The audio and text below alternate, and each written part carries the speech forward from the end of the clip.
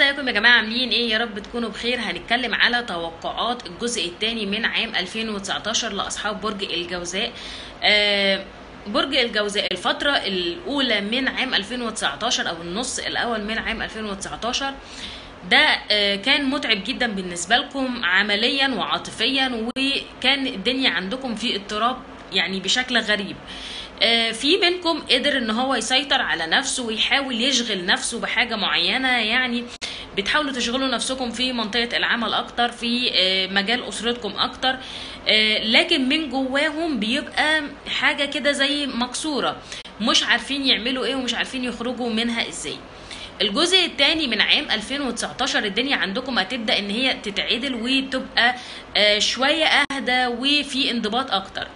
الجزء الأخير أو آخر ثلاث شهور من السنة هتبدأ الدنيا معاكم تبقى مزدهرة جدا وهتبقى حاجة كويسة جدا.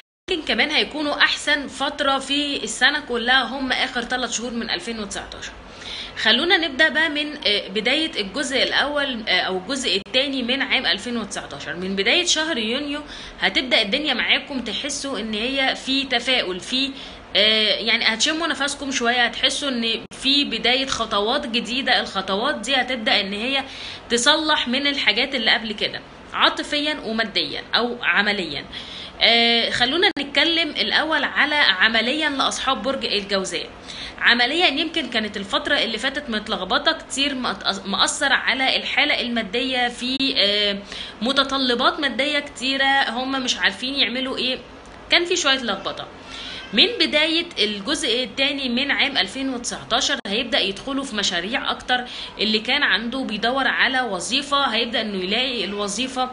فهيبدأوا إن هم يحسوا بالطمأنينة شوية بإن إن هم لقوا آه، الحاجة اللي هم يبدا إن هم يسندوا عليها بحيث إن هي هتعلي من الراتب أو الدخل المادي بتاعهم.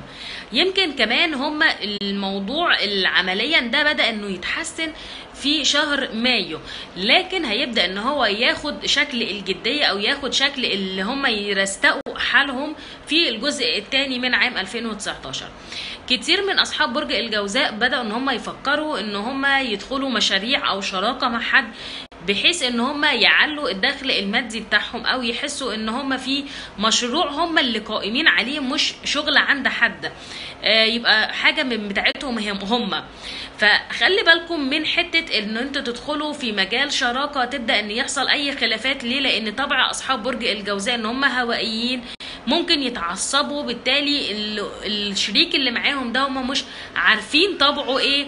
لازم تبقوا عارفين الشريك اللي أنتم داخلين معاه ده هو مين؟ طبعه طبعه إيه؟ بحيث إن ما يحصلش أي خلافات بعد كده.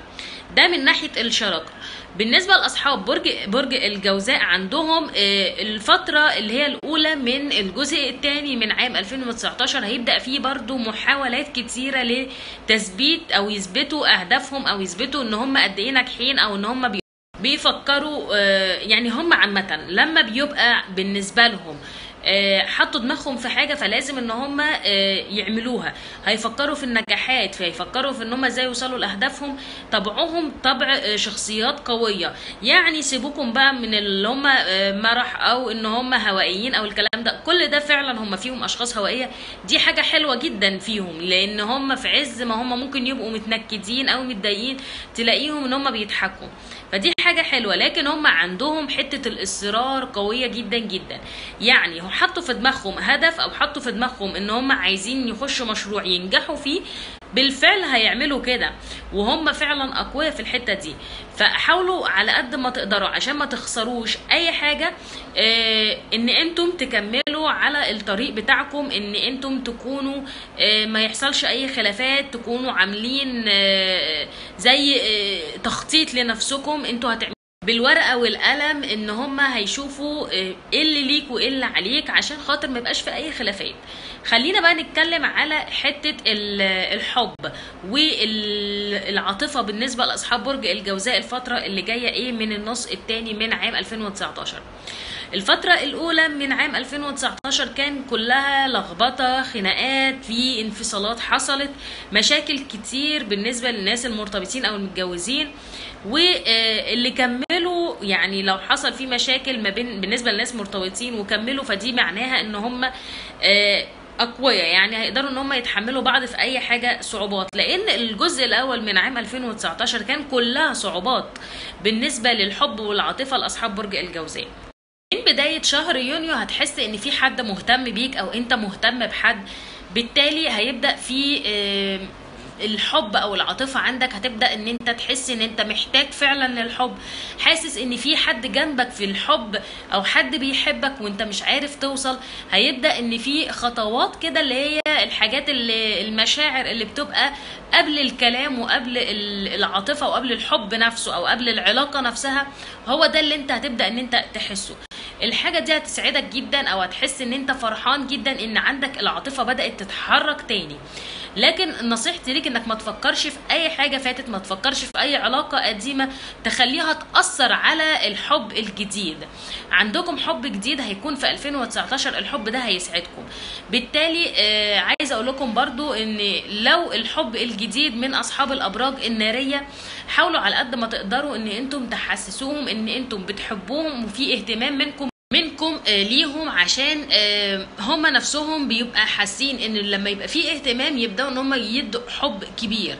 آه، ليه قلت أصحاب برج الحمل؟ لأن عندهم فرصة للي هم يبقوا متقربين أكتر أو يتقربوا أكتر أو يكون في علاقة حب. الفترة اللي جاية بالنسبة لأصحاب برج الحمل أكتر من الأبراج النارية يعني. فخلي بالكم كويس جدا من حتة إن أنتم تدوا أنتم اهتمام وتدوا آه، علاقة حب حلوة أو إحساس في الحب حلو. ما تخلوش أي حاجة من العلاقة القديمة تأثر فيكم أو تحسوا إن العلاقة الجديدة دي ممكن ما هو يعمل زي ما اللي فات عمل أو تعمل زي ما اللي فاتت عملت. ما تفكروش أساسا كل شخصية آه، خاصة بيها هي أو كل حد ليه حاجة خاصة بيه هو. جرب وما تحسسش نفسك إن أنت تجربة واحدة أثرت فيكم. يعتبر الحاجات اللي أنا بقولها شوية نصايح صغيرة في وسط التوقعات لكن أنا هجمع النصايح كلها في فيديو واحد وهنبدأ إن إحنا نقولها النصايح بتبقى أهم بكتير جدا لأن هي بتعرفنا إيه اللي ممكن نخلي بالنا منه أو إيه اللي ممكن نتجنبه عشان خاطر نقدر نوصل بسلام أو بأمان لهدفنا أو نجاحنا. آه، بالنسبة بقى لأصحاب برج الجوزاء من الناحية الحياتية الأمور الحياتية بالنسبة لهم ما تحاولوش تماما تخسروا أي حد من أهلكم أو أسرتكم أو آه، الأصدقاء المقربين. ليه؟ لأن أنتم هترجعوا تحتاجوهم في خلال الجزء الثاني من عام 2019 يمكن هتحسوا إن أنتم في احتياج قوي قوي لاشخاص أنتم آه، فقدتوهم أو أشخاص أنتم آه، اللي بعدتوا عنهم في شهر ديسمبر أكتر وقت يعني آخر آخر السنة. هتحسوا إن هما لو كانوا موجودين جنبكم كان هيحصل فرق كبير. دي نقطة. النقطة التانية عندهم آه، حاجة حلوة برضو هتحصل في آه، مفاجأة حلوة. المفاجأة دي عبارة عن آه، سواء كان ارتباط أو مولود جديد أو حاجة آه، حلوة أو بشرة سارة بالنسبة لحد من الأسرة بالتالي هم هيفرحوا بيها جدا. آه، يعني عندكم بشرة حلوة. الجزء التاني من عام 2019 خلونا نتكلم بالنسبة لصحة أصحاب برج الجوزاء. بداية كده المشاكل الصحية اللي عندكم الإرهاق التعب الجسدي إن أنتم مش قادرين تقوموا وتحسوا إن جسمكم مكسر. كل ده سببه حاجة واحدة بس سببه المشاكل النفسية بالنسبة لكم. يعني إيه؟ أنتم طبعكم ان أنتم ممكن تبقوا في عز وجعكم وفي عز كسركم أو في عز ألمكم وتبقوا بتضحكوا مع الناس وتبقوا الدموع من جواكم لكن أنتم من بره وش بيضحك جدا وش مبسوط جدا.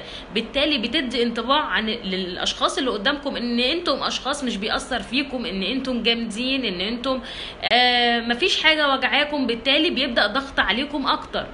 ما تحاولوش على قد ما تقدروا ان أنتم تخفوا ألمكم بالمنظر ده أو تحولوا الألم بتاعكم لصورة ضحك وابتسامة رهيبة.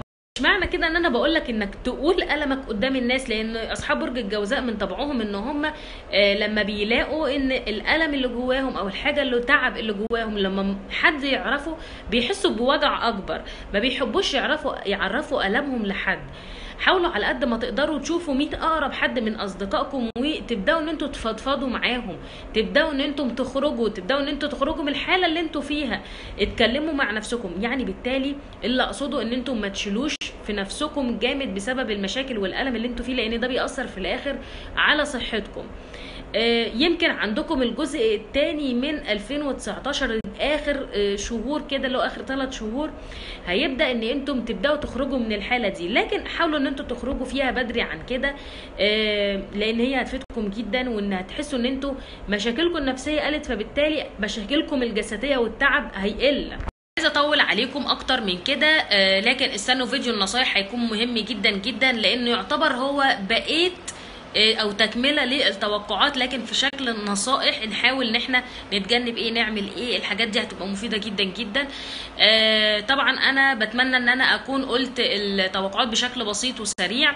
آه، كده إحنا قلنا توقعات. آه، الجزء الثاني من عام 2019 آه، لأصحاب برج الجوزاء.